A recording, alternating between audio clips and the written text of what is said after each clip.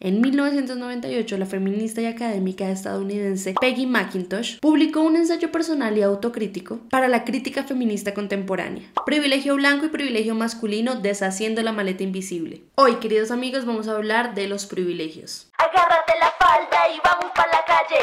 En la cruz justa, vamos para adelante. Agárrate la falda y vamos para la calle.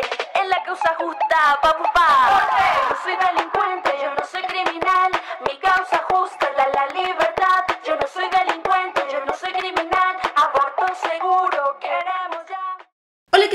¿Qué tal? La mona soy yo y bienvenidos a un nuevo video. ¡Pum, pum, pum! El día de hoy vamos a hablar de los privilegios, esta tan temible palabra que muchos escandalizan, que a muchos no les gusta hablar, pero bueno, todo esto lo tomé gracias a este libro, Las mujeres que luchan se encuentran, por la escritora maravillosa feminista Catalina Ruiz Navarro, te admiro mucho. Catalina se basó en este ensayo de Peggy para hablarnos sobre los privilegios y les voy a contar un poco sobre el tema. Les voy a leer esto que está en el ensayo de Peggy. Gracias al trabajo realizado para incorporar material de estudio sobre la mujer en el resto del currículo, a menudo he notado que los hombres no están dispuestos a reconocer que tienen excesivos privilegios. Aunque reconocen que las mujeres están en una situación de desventaja, dicen que lucharán para mejorar el estatus de la mujer en la sociedad, en la universidad o en el currículo, o sea, en el trabajo. Pero no pueden apoyar ni apoyarán la idea de disminuir el estatus del hombre.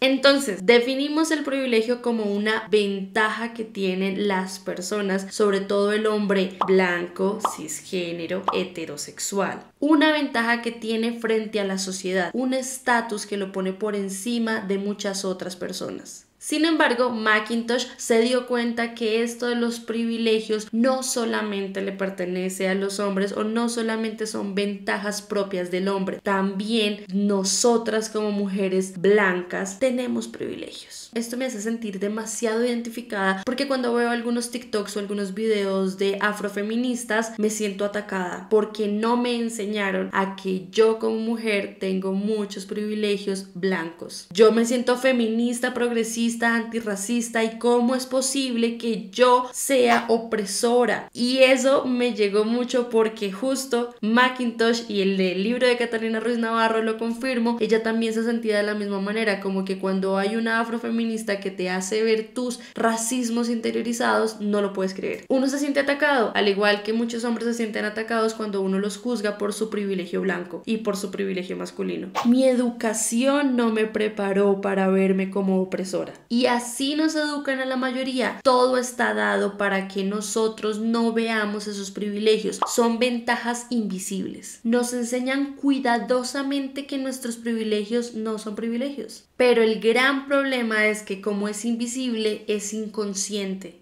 Francesca Gargallo dice lo siguiente que me parece interesantísimo. Como mujer blanca, yo vivo sin conciencia de los privilegios que el sistema racista me ha reservado desde la infancia. Están tan interiorizados y normalizados que no me percato de ellos y por ende me abrogo el derecho de no reconocerlos a menos que alguien me los señale. Los privilegios no es para que nosotros nos demos látigo y nosotros nos sentamos mal. Señalar los privilegios es para que nos hagamos consciente de que nosotros tenemos ciertas ventajas en comparación a otros. Todas las personas tenemos ventajas y desventajas. Y lo que más duele de tener los privilegios es entender que nosotros no logramos muchas cosas por la meritocracia. Y lo que más duele de entender estos privilegios es que cuando los tenemos, cuando tenemos estas ventajas, probablemente muchas de las cosas que tenemos o que ganamos no lo hicimos por meritocracia, simplemente porque teníamos estos privilegios. No todo lo conseguimos por nuestro trabajo y nuestro esfuerzo. Eso es duro de reconocer. Sin embargo, aunque es muy difícil como tal acabar mis privilegios, yo no puedo cambiarme el color de la piel. Puedo tratar de usar los espacios, mis contextos sociales para hacer ver a otras personas estos privilegios y de esta manera poder ver el mundo de una manera distinta, que el privilegio no te nule la empatía. Y bueno, tampoco es que todo lo que hemos trabajado simplemente no exista y tampoco es el hecho de que nuestro esfuerzo no haya valido, tampoco. No es para darnos golpes de pecho, sin embargo es importante reconocer que algunas ventajas nos ayudaron a la posición en donde estamos. Y ojo, muchas veces cuando le hablamos de estos privilegios masculinos a los hombres, ellos empiezan a decir que eso no es cierto y que también existen los privilegios femeninos de los que vamos a hablar a continuación. Porque no, no es un privilegio que nosotras nos den la custodia, no es un privilegio que a nosotras nos dejen entrar gratis a un bar, no es un privilegio que nos inviten gratis las cenas. Eso que tú piensas que es un privilegio tiene un costo altísimo. Uno, por ejemplo, que a nosotras nos da la custodia, pero pueden sistemáticamente los hombres papás abandonar. Dos, que nos dejan entrar gratis a bares, ay sí, pero nosotras somos el consumo de esos hombres. Y número tres, que nos invitan gratis a comer, eso es lo máximo que vamos a tener de alguien que quiere aprovecharse de nosotras porque normalmente esas invitaciones van cargadas de algo atrás, de fondo. Normalmente sexo. Así que vamos a leer estos privilegios que me parecen sumamente importantes para ir nombrando cada uno y desmenuzarlos. Yo me siento muy privilegiada y aquí quiero que ustedes también en este espacio puedan hacer el test conmigo. Catalina Ruiz hizo estos puntos que les voy a contar a continuación basándose en el ensayo de Macintosh, pero los hizo exactamente para Latinoamérica. Empecemos. Vamos a hablar del privilegio blanco y de clase. Número uno, si así lo deseamos,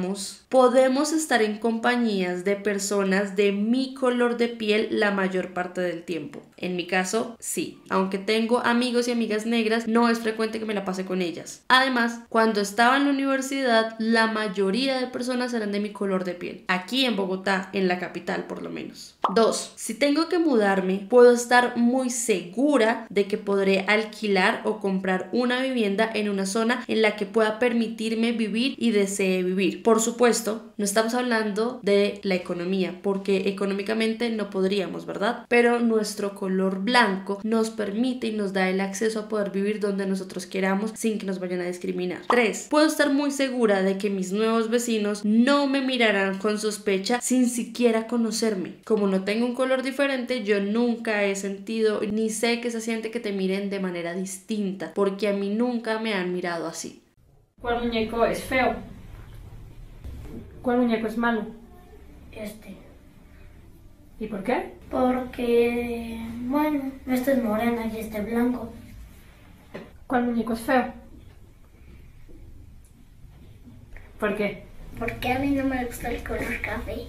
Puedo encender el televisor o desplegar mi primera página del periódico y ver a personas de mi fenotipo o color de piel ampliamente representadas. ¿Cuántas veces casi todos los protagonistas de una serie, de una película son blancos? Y si no lo son, ponen uno o dos personas negras y ya está. Cuando me hablan de nuestra herencia nacional o de la civilización, los y las protagonistas de estas historias son de mi grupo étnico o color de piel. La mayoría de conquistadores latinoamericanos son blancos, muy pocos son negros o indígenas también. Puedo estar segura de que mis hijos les darán material curricular que cuente la historia de personas de mi grupo étnico o color de piel. Si hablo o critico el privilegio blanco, la gente me lo va a celebrar en vez de considerarme subversiva. Es decir, yo digo, yo como mujer blanca puedo entender lo que está sucediendo, ta, ta, ta, me parece que estás haciendo una acción racista, pero si una mujer negra o un hombre negro van a hablar en contra del privilegio blanco, ahí sí. No, eres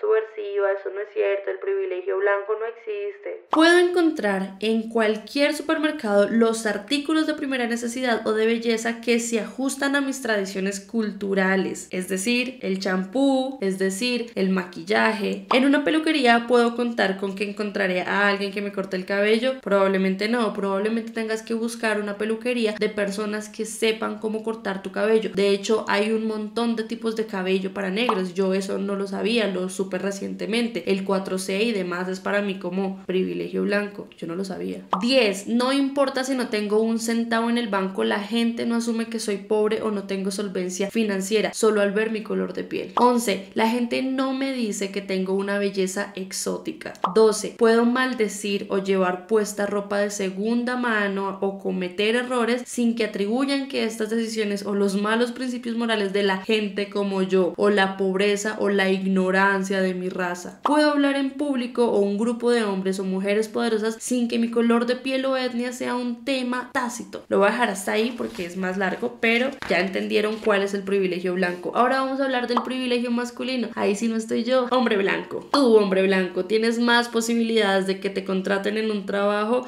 que a las mujeres. Fin, es así. Si fallas en tu trabajo o en tu carrera, estás seguro que esto no será visto como una muestra de la incompetencia de todo tu género. Ejemplo, ¿cuántas veces hemos visto que una persona está manejando y dice, manejas como niña? O si se estrella, ah, mujer tenía que ser. Porque su género es el que la hace equivocar. Pero cuando un hombre lo hace, ah, por ser hombre se equivocó, eso no se lo dicen. Es menos probable que seas víctima de acoso sexual en el trabajo. Muy poco probable. No es que no pase. Ya estarán los comentarios de, a nosotros también nos violan, a nosotros también nos pegan, a nosotros también nos hacen, Pero las estadísticas muestran a quién le hacen más. A las mujeres sistemáticamente se nos ha violentado más y se nos hace acoso callejero, se nos hace acoso sexual. Puedo hablar en contextos privados o profesionales e incluso decir pendejadas sin que la gente me interrumpa. También tendremos que hablar de los machismos que también les dicen los micromachismos como el mansplaining, bropiating, mentorumping, entre otros. Cuando hago lo mismo que una colega, la gente cree que yo lo hice mejor. ¿Cuántas veces les ha pasado eso? Que un hombre dice las mismas ideas que ustedes dicen, pero ustedes de segunda y el hombre, ay, me encantó tu idea. Si el hombre decide no tener hijos, nadie le va a decir que no está realizándose como hombre. En cambio, si la mujer dice eso. La mayoría de personas que representan los países por elección popular son hombres. Esto es como para ver que un hombre se puede sentir identificado fácilmente con otro hombre. Como que vemos en todas partes tantos hombres que el mismo hombre cree que puede llegar a esos cargos y que puede hacer todo eso. En cambio la mujer no se ve representada allí. Cuando los niños son niños, hombres, se les anima a ser más activos y extrovertidos que a las niñas de esa misma edad. Los hombres pueden publicar una foto de traje de baño y nadie les va a demeritar sus capacidades y nadie lo va a tratar mal y va a decir como eres muy poco profesional. Las habilidades para trabajar o tomar de los hombres nunca serán cuestionadas una vez al mes por sus supuestos cambios hormonales. Los hombres nunca van a tener una operación que sea necesaria para salvar sus vidas y que esté prohibida por la ley, como si sucede con el aborto. Ahora veamos el privilegio heterosexual en el que yo estoy ahí. Yo nunca he sentido la necesidad de mentir sobre mi sexualidad. Para mí es natural decir me gustan los hombres. Yo nunca tuve que salir del closet.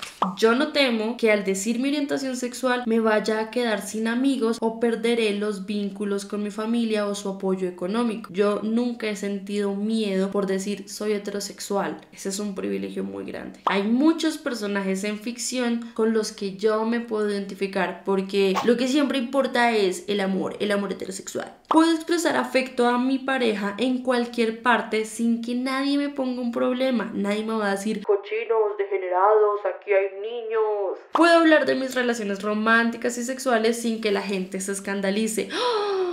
No, pues normal, eso es normal. No tengo que justificarle a la gente mi orientación sexual. No tengo que decirles yo nací así o yo me hice así. Nada de eso. Yo simplemente soy y ya la gente lo da por hecho. Está súper normalizado la heterosexualidad, pero no vemos que hay más orientaciones sexuales. Mi derecho a casarme o formar una familia nunca ha sido cuestionado. No temo o espero que alguien sea violento conmigo debido a mi orientación sexual. A mí nunca nadie me va a pegar por ser hetero. Nunca me han puesto problema por entrar a un hotel o a un motel para pedir un cuarto para mí y mi pareja. Ahora, privilegio cisgénero. La gente me cree cuando le digo que soy una mujer o que soy un hombre. A mí nunca me ponen en duda de eso y tampoco me andan preguntando, oye, ¿tú eres mujer o tú eres hombre? No, la gente ya lo sabe y lo asume. Eso es un privilegio cisgénero.